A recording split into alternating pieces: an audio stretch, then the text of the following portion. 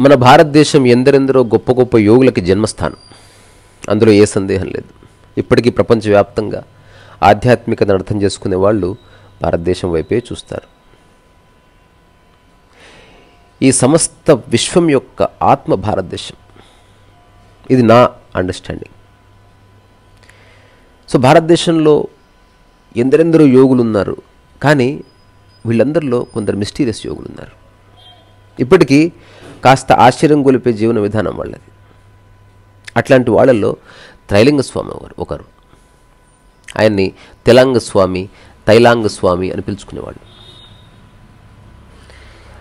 ఆయన గురించి శ్రీ రామకృష్ణ పరమహంస ఇలా అనేవాడు the walking Shiva of Varanasi. అంటే సాక్షాత్తు కాశీలో నడయాడే శివుడు అతను అని.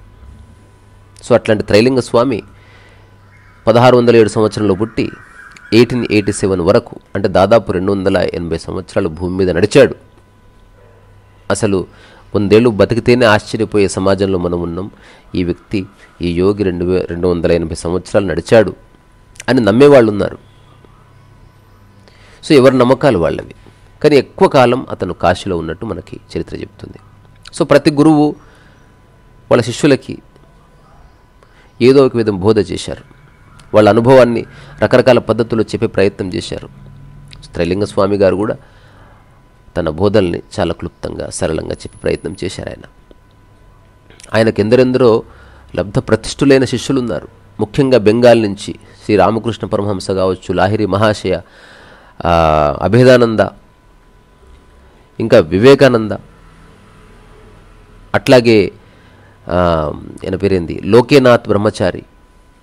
బేనిమాధవ్ బ్రహ్మచారి. ఇట్లా రకరకాల యోగులు అతని శిష్యులు. వాళ్ళ వాళ్ళందరూ ఇతని కృపకు పాత్రులయ్యి అతనిలో ఉన్న ఆ జ్ఞానాన్ని అంగీకరించిన వాళ్ళు. సో ఆయన టీచింగ్ చాలా చాలా చాలా సింపుల్. సో ఒక్కటే ఉంది సత్యం అదే నిజం. ఆ మిగతాదంతా వస్తుంటుంది పోతుంటుంది. సో మాయలో పడొద్దు. అంటే కంటికి కనిపించే వాటి మాయలో పడొద్దు. సో కళ్ళు తెరిచి చూడు. నీలో ఎప్పటికీ మారని ఒక క్వాలిటీని చూడు. అదొక నాన్ డ్యూయల్ కాన్షియస్నెస్. ఇట్లాంటి తేలికైన మాటల్లో అతను ఆధ్యాత్మిక ప్రబోధాలు చేశాడని మనకు చరిత్ర చెప్తున్నది. సో ముఖ్యంగా త్రైలింగ స్వామి ఎవరైనా అతని దగ్గరికి వచ్చినప్పుడు కొన్ని విషయాలు చెప్పేవాడు. అంటే ఒక మనిషి ఎలా ఉండాలి? ఎలాంటి క్వాలిటీస్ అక్వైర్ చేయాలి to understand know Brahmajnana or to understand life or to understand purpose of life or essence of life ఎలాగైనా సరే ఆ విషయాన్ని అర్థం చేసుకోవాలంటే మార్గం ఏమిటి? ఎందుకంటే ఇక్కడి నుంచి ఇంకొక ఊరు వెళ్ళాలంటే కొన్ని ఊర్లు మనం చెప్పుకుంటాం కదా ఈ ఊరు దాటి ఆ ఊరు దాటి ఆ ఊరు దాటగా ఆ ఊరు వస్తుంది. సో పాత్ అంటే అదే. కొన్ని మైల్ స్టోన్స్ ఉంటాయి. ఆ మైల్ స్టోన్స్ని అబ్జర్వ్ చేస్తూ వాటిని ఆలంబనగా చేసుకుని నువ్వు చేరవలసిన గమ్యస్థానానికి. సరే ఊరంటే భూమి మీద ఉంది కాబట్టి అది హారిజెంటల్ డైమెన్షన్ కాబట్టి దట్స్ ఫైన్ బట్ సెల్ఫ్ రియలైజేషన్కి జర్నీ అనేది హారిజెంటల్గా ఉండదు. ఇట్స్ వర్టికల్ అంటే నువ్వు ఉన్న చోట మరింత అద్భుతంగా సెటిల్ అవ్వడానికి చేసే ప్రయత్నం. నీ మీద ఉన్న పనికిరాని ఆచ్ఛాదనలన్నీ తీసేసి నగ్నంగా అవ్వడానికి చేసే ప్రయత్నం. సో ఆధ్యాత్మికత అంటే మానసికంగా నగ్నంగా మారడం. అంతే. సో త్రైలింగ స్వామి ఇలా చెప్పేవాడు అనమాట I am other than name form and action నేను ఎవరైతే ఉన్నారో అది పేరు కాదు ఒక రూపము కాదు లేదా చేష్ట కాదు.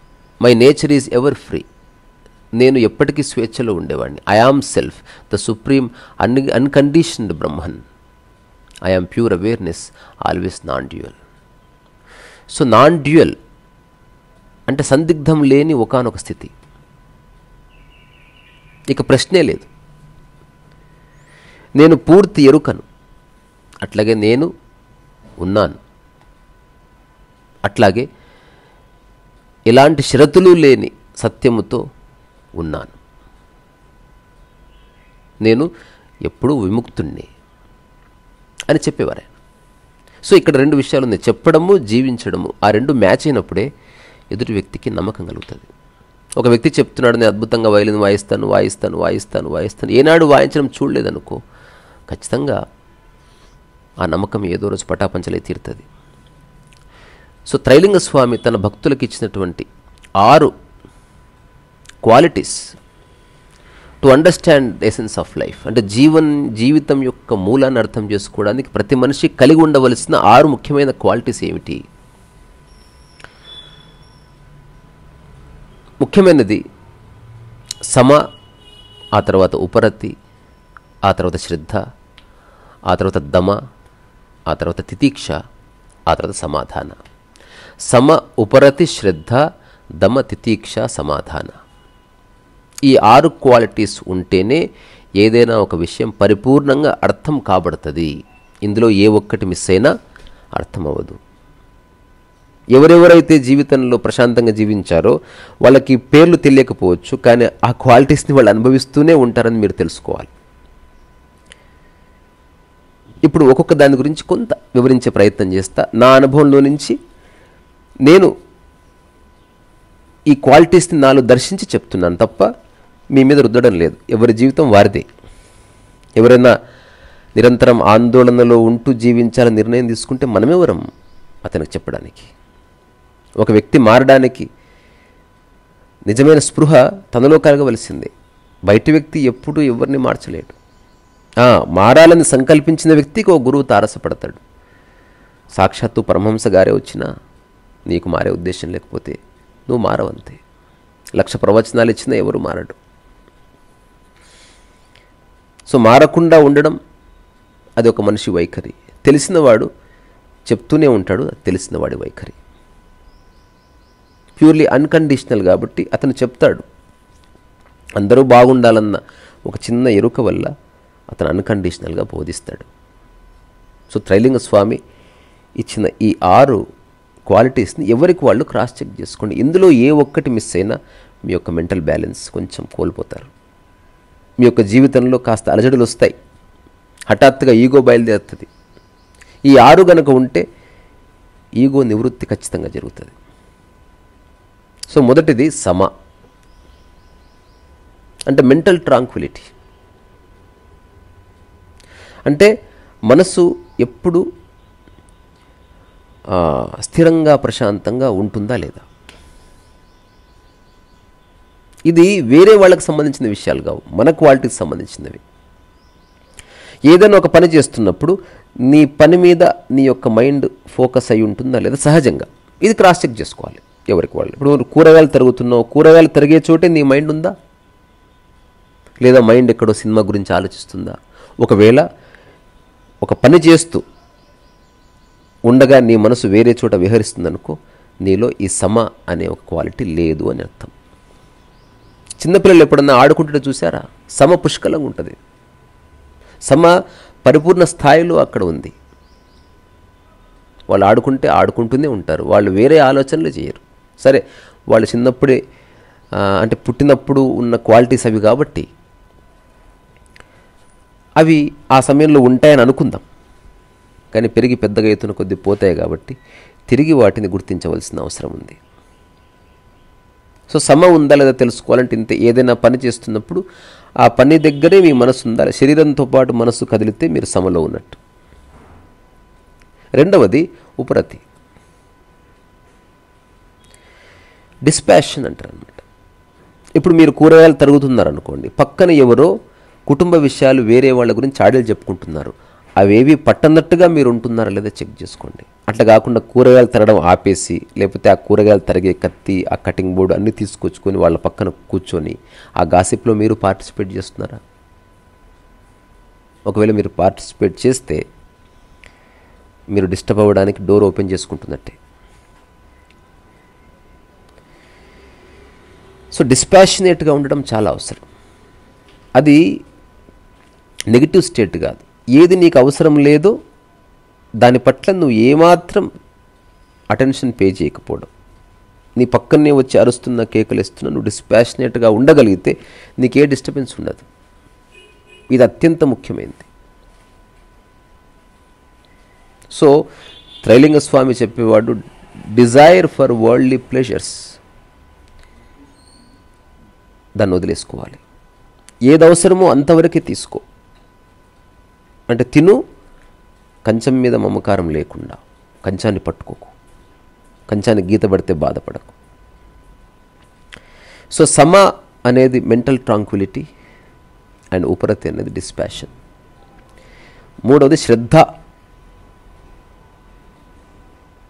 అంటే ఏదైనా ఒక విషయం పర్స్యూ చేస్తున్నప్పుడు సమ అన్నప్పుడేమో నువ్వేదన్నా పని చేస్తున్నప్పుడు సమ ఉంది. మరి శ్రద్ధ ఎప్పుడుంది? ఏదైనా నేర్చుకుంటున్నప్పుడు శ్రద్ధ అవసరం. తెలిసిన పని చేస్తున్నప్పుడు నీ మైండ్ బాడీ ఒకచోట ఉంటే సమ. ఆ తెలిసిన పని చేస్తూ ఉన్నప్పుడు చుట్టుపక్కల ఎవరైనా పిచ్చి వేషాలు వేసినా గాసిప్స్ చెప్పుకున్నా పట్టించుకోకుండా నువ్వు ఉండగలిగితే నీలో డిస్పాషనేట్ ఉంది. అలాగే నువ్వు ఉపరతిలో ఉన్నావు. శ్రద్ధ అన్నది ఎప్పుడు? ఏదైనా నేర్చుకుంటున్నప్పుడు. నీలో లేనిది నీలోకి ఆహ్వానిస్తున్నప్పుడు నువ్వెంత గొప్పగా సరెండర్ అవుతావు ఎంత డౌట్లెస్గా సరెండర్ అవుతావు. అది ఎక్కడైనా కావచ్చు. గురువు దగ్గర నేర్చుకుంటున్నప్పుడు కానీ ఒక పుస్తకం చదువుతున్నప్పుడు కానీ అందులో నువ్వు నేర్చుకుంటున్నావన్న స్పృహ ఉన్నప్పుడు శ్రద్ధ అనేది ప్రతిఫలమవుతుంది. అక్కడ శ్రద్ధ దర్శనం ఇస్తుంది శ్రద్ధ యొక్క ఆవిర్భావం అక్కడ జరుగుతుంది. So there is little difference between sama and shraddha. చేస్తున్న పనిలో సమ కొత్త తెలుసుకోవాలనుకుంటున్నప్పుడు శ్రద్ధ. సో నాలుగవ క్వాలిటీ దమ. అంటే రిస్ట్రైనింగ్ ఆఫ్ ద సెన్సెస్ అంటే నీ ఇంద్రియాలకు సంబంధించినటువంటి ఒక సహజ నియంత్రణ. ఇప్పుడు ఎదురుగా ఏదో ఒక పనికిరాని సినిమా వస్తుంది. సినిమా బాగాలేదు చీ అని లేచిపో just you just close your eyes నీకు అవసరం లేని విషయాలు చెప్తున్నారు వినకు. ఇది ఇంద్రియాలకు సంబంధించింది. ఎప్పుడన్నా మనం చేయితో షిట్టు ముట్టుకుంటామా? అక్కడ మనం పాటిస్తాం దాన్ని. ఎందుకు? బాగుండదు కాబట్టి. సో షిటీ థింగ్స్ని వినకు. షిటీ థింగ్స్ని తినకు. షిటీ థింగ్స్ని ముట్టుకోకు. షిటీ థింగ్స్ మాట్లాడకు. సో నీ సెన్సెస్ని అవసరమైన మేరకు వాడుకొని ఆ తర్వాత ఇమ్మీడియట్గా షట్ డౌన్ చేసేసి నీ సెన్సెస్ ఉన్నవి నీ కోసం. నీకు ఉపయోగపడే విధంగా నీ ఉన్నతికి ఉపయోగపడే విధంగా దాన్ని వాడుకోవాలి. ఇలా గనక నీ ఉంటే నీలో దమ అనే క్వాలిటీ ఉన్నట్టు. సో సమ అనేది మెంటల్ ట్రాంక్విలిటీ. అంటే ఏదైనా పని చేస్తున్నప్పుడు శరీరం మనస్సు ఒకచోట ఉంటే సమలో ఉన్నట్టు. చుట్టుపక్కల పనికిరాని గాసిప్స్ అవి నడుస్తుంటే నీ పనిని వదిలేసి అటుపక్క పోకుండా నీ పని మీద లగ్నం చేస్తే నీలో ఉపరతి ఉన్నట్టు. ఏదన్నా కొత్తది నేర్చుకోవాలని ప్రయత్నం చేసేటప్పుడు శ్రద్ధ ఉన్నట్టు. నీ ఇంద్రియాలని ప్రతి అనవసరమైన విషయానికి వాడకుండా నీ యొక్క డిస్కషన్తో దాన్ని క్లోజ్ చేయగలిగితే దమలో ఉన్నట్టు. ఆ తర్వాత అత్యంత ముఖ్యమైనది తితీక్ష. ఇక్కడ చాలామంది ఫెయిల్ అయ్యే అవకాశం ఉంది. మిగతావి ఒక ఎక్స్టెంట్ వరకు త్వరగా చిక్కుతాయి. తితిక్ష చిక్కడం కష్టం. సో తితిక్ష అంటే ఈ తితిక్ష అనే విషయాన్ని అర్థం చేసుకోవాలంటే శ్రవణ మహర్షిని చివరి దశలో చూడాలి. ఎప్పుడన్నా యూట్యూబ్లో ఇలా కొట్టండి అదృష్టవశాత్తు మనకు వీడియోస్ ఉన్నాయి. ఎవరో మంచి హృదయం ఉన్న ఫారినర్స్ తీశారు. ఆయన శరీరం పూర్తిగా శుష్కించిపోయినప్పటికీ ఆయన నడిచే విధానం కానీ ఆయన కూర్చునే విధానం కానీ ఆయనలో చెక్కు చెదరని ఒక ప్రశాంత చిత్తమును చూశారు. సమస్యలు ఎన్నో ఉన్నాయి శరీరానికి. అక్కడ తితీక్ష ఉంది. సో తితీక్ష అనేది సాక్షికి సంబంధించిన ఒక డైమెన్షన్. తితీక్ష నీలో ఉదయించిందా? సమస్య సమస్య వరకే ఉంటుంది అది నన్ను కబళించదు. రమణ తాతకి చేయికి సర్కోమా అనే ఒక వ్యాధి వచ్చినప్పుడు అందరూ బాధపడ్డారు అందరూ ఆశ్చర్యపోయారు అందరూ జాలి చూపించారు అందరూ మెడిసిన్స్ తీసుకొచ్చారు. రమణ తాత వీటికి అతీతంగా ఉన్నాడు. తితీక్ష. నొప్పి ఉంది గుర్తించాడు అంతవరకు. తన పని తాను చేసుకున్నాడు. సాక్షి సాధనలో అత్యంత ముఖ్యమైన పాత్ర పోషించే తితిక్ష.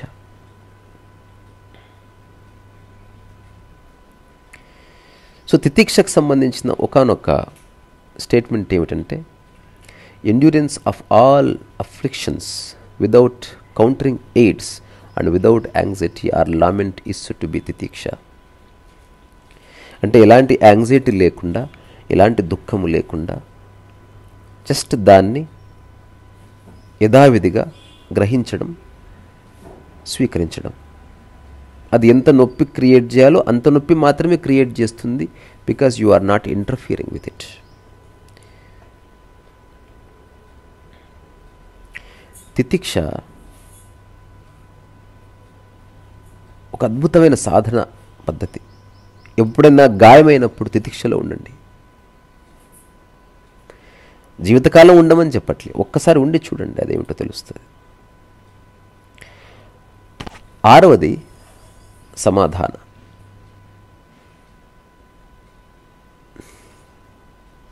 అంటే ఏది నీ దగ్గరుందో అది గుర్తించి దాని పట్ల సంపూర్ణ సంతృప్తితో ఉండడం. సర్వకాల సర్వవస్థల్లో హాయిగా ఉండడం. నాకెవరు ఫోన్ చేసినా నేను రెండు వేల తొమ్మిది నుంచి నేను ఎప్పుడు బాగానే ఉన్నాను. అది ఊరికే చెప్పడం కాదు. ఇప్పుడు ఉత్తరం రాసినప్పుడు మేము క్షేమం మీరు క్షేమం అట్లాంటి భక్వాస్ మాట కాదు నేను చెప్పేది. క్షేమంగా లేకపోతే క్షేమంగా లేమని రాయాలి. ఇప్పుడు నేను చెప్తున్నది నా స్వయం స్థితి అది. బాగున్నాను. అన్ని బాగుంటే బాగుండడం కండిషనల్. ఏది ఎలా ఉన్నా నువ్వు బాగున్నావు. సో ఆ బాగున్నావు అన్న స్థితి ఎకనామికల్ కాదు సోషల్ కాదు లేకపోతే ఎమోషనల్ కాదు. వీటన్నిటికీ అతీతంగా there is something which is stable it is there all that you have realized it ఎట్లయితే కారు డ్రైవ్ చేస్తున్న వాడు స్టీరింగ్ని పట్టుకుంటాడు. కారు ఎలాగైనా కదలని. స్టీరింగ్ని పట్టుకుంటే కార్ని ఆధీనంలో ఉంటుంది. అట్లా there is something in humans existence అదొక్కటి చిక్కడం చాలా కష్టం. చిక్కితే పోదు.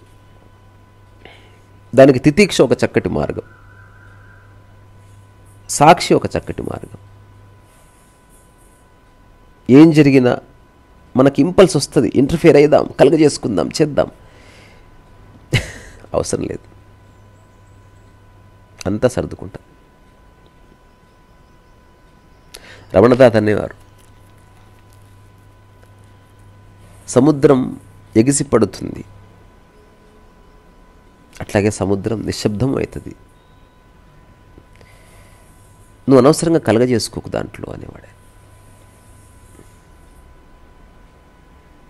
సో ఉన్నదాంతో సంపూర్ణంగా సంతృప్తి చెంది జీవించడం అనేది కల్టివేట్ సో ఈ ఆరు క్వాలిటీస్ ఏమిటి? సమ దమ ఉపరతి తితిక్ష శ్రద్ధ సమాధాన.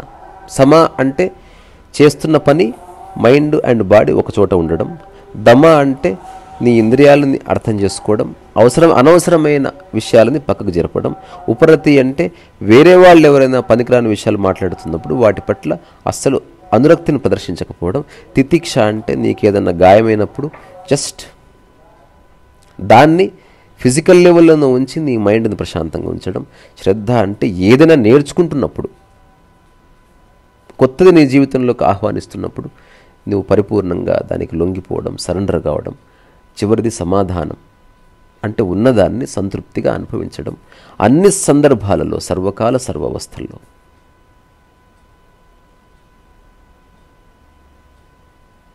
సో ఎవరైతే సంపూర్ణ స్వేచ్ఛని అభిలషిస్తున్నారో ఎవరైతే ముక్తిని కోరుకుంటున్నారో ఎవరైతే ప్రజ్ఞని కోరుకుంటున్నారో వాళ్ళందరినీ ముముక్షువులని పిలిచారు. అట్లాంటి ముముక్షువులంతా ఈ ఆరు క్వాలిటీస్ కలిగి ఉండాలి. సో జీవితంలో ఇప్పుడు ప్రపంచం ప్రకృతి అనే కాంటెక్స్ట్ ఎవరికైతే చెప్తూ నిరంతరం చెప్తున్నాను ప్రపంచంలో జస్ట్ సక్సెస్ అవ్వాలనుకునేవాడికి ఇది అక్కర్లేదు. ఆహా. కానీ నిజంగా పుట్టిన దగ్గర నుంచి మరణించే వరకు ఆనందంగా ప్రశాంతంగా ఉండాలని అనుకునేవాడికి ఖచ్చితంగా ఈ క్వాలిటీస్ ఉండాలి. లేకపోతే ఎక్కడో చోట నువ్వు కోట్లు సంపాదిస్తావు పెద్ద పెద్ద కంపెనీలు ఎవరో ఒక మాట అంటే నువ్వు అలజడి చెందుతావు. అలా జరుగుతుంది. మూడ్ స్వింగ్స్ వస్తాయి. బికాజ్ నీ యొక్క ప్రశాంతత కండిషనల్ వేరే వాటి యొక్క స్థితుల మీద నీ మానసిక స్థితి ఆధారపడింది. రమణతాత మానసిక పరిస్థితి ఇట్స్ బియాండ్. సందర్భం ఏదన్నా కానీ. చూసే స్థితిలో ఉన్నవాడికి ఇప్పుడు త్రైలింగ స్వామి లేదా ఇవే ఎందరో యోగులు చెప్పారు. కానీ ఇతను యాక్సిన్షియేట్ చేశాడు. దాన్ని బలంగా చెప్పాడు. వాటిని మీ జీవితంలో తీసుకోండి అని చెప్పాడు. హండ్రెడ్ పర్సెంట్ ఇవి నాలో ఉన్నాయని గుర్తించి చెప్తున్నాను ఇందులో ఈగో ఏమీ లేదు. ఉన్నది చెప్పడం వేరు ఉన్నది గొప్పగా చెప్పుకోవడం వేరు. ఉన్నది చెప్తున్నా కాంటెక్స్ట్ కాబట్టి. రెండోది ఇంకొక ముఖ్య విషయం చెప్పి ముగిస్తాను. చాలామందిలో ఈ క్వాలిటీస్ ఉంటాయి కానీ వాళ్ళకి తెలియదు అంతే. పేర్లతో పని లేదు మనకు. ఎవరైతే వేరే వాళ్ళకి అర్థం చేయించే క్రమంలో పేర్లు పెడతారు అంతవరకు. పుస్తకం చదివే నిజంగా చదివేవాడికి పేజ్ నెంబర్స్తో ఏం పని? Just asking. పుస్తకం మధ్య మధ్యన చదవకుండా పక్కన పెట్టేవాడికి పేజ్ నెంబర్ కావాలి. ఒక ఏకబిగిన పుస్తకం చదవడం పూర్తి చేసేవాడికి పేజ్ నెంబర్స్ ఎందుకు? సో నా నెక్స్ట్ పుస్తకంలో పేజ్ నెంబర్స్ లేకుండా ప్రింట్ చేద్దాం అనుకుంటున్నా. రీసరస వయస. సో త్రైలింగ స్వామి చెప్పిన ఈ ఆరు క్వాలిటీస్ సమ దమ ఉపరతి తితిక్ష శ్రద్ధ అండ్ సమాధాన. ఒక్కసారి ఎవరికి వాళ్ళు క్రాస్ చెక్ చేసుకోండి రూపాయి ఖర్చు లేదు. ఒక్కరోజు మిమ్మల్ని మీరు గమనించుకుంటే తెలుస్తుంది.